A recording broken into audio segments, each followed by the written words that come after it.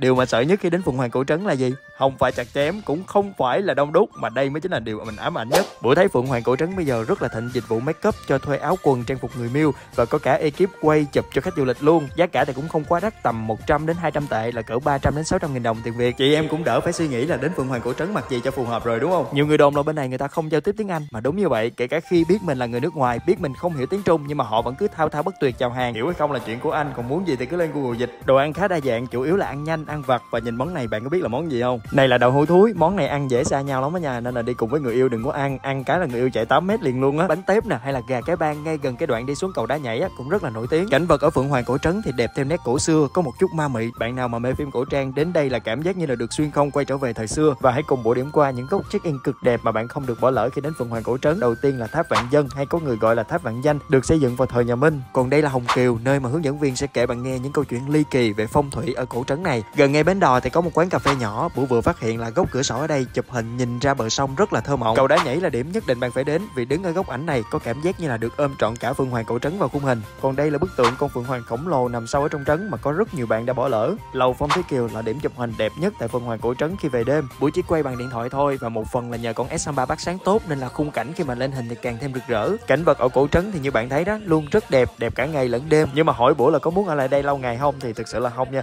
Bữa bị ám ảnh nhà vệ sinh công cộng ở đây á mọi người. Ở cổ trấn thì nhà vệ sinh vừa nhỏ lại dùng hố xí bệt và không có giấy cũng không có vòi xịt. Lần trước mình đến vào mùa đông khi mà nước nó bị đóng băng á, gần như là không xử lý kịp. Nhắc tới là ám ảnh, ám ảnh cực độ luôn. Lần này quay trở lại là mùa hè sau dịch cho nên là cũng đỡ hơn. À mà chỉ đỡ hơn thôi nha. Nên là rút kinh nghiệm sâu sắc, mình phải chuẩn bị giải quyết nỗi buồn trước khi vào trấn, còn không thì phải cố nhịn để về khách sạn chứ không là dễ tụt hứng giữa chân lắm nha.